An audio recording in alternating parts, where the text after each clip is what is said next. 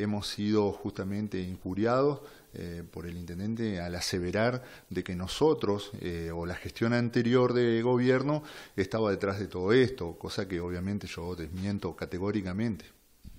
Lo vinculaba a la denuncia que hizo en, el comienzo de, su gestión actual eh, por sobreprecios en la obra pública y una investigación que supuestamente se había iniciado.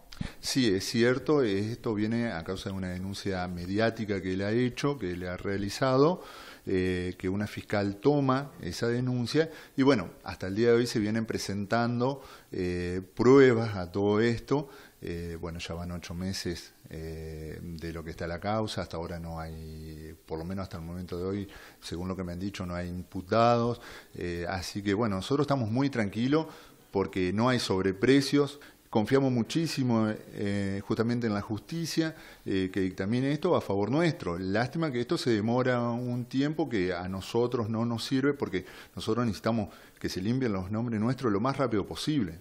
Y con respecto a este último caso, a las injurias que usted dice haber sido víctimas, ¿qué, em, ¿qué es lo que piensa hacer? ¿Va a acudir a la justicia precisamente por esto? Obvio, es un hecho totalmente grave de que a uno eh, lo estén acusando de cosas que no, no tienen absolutamente nada que ver. Eh, creo que nos ensuciaron nuestro buen nombre.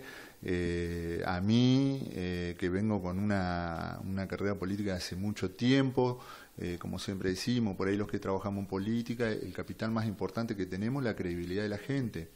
Y bueno, pero hoy la están poniendo en tela de juicio, ¿no es cierto?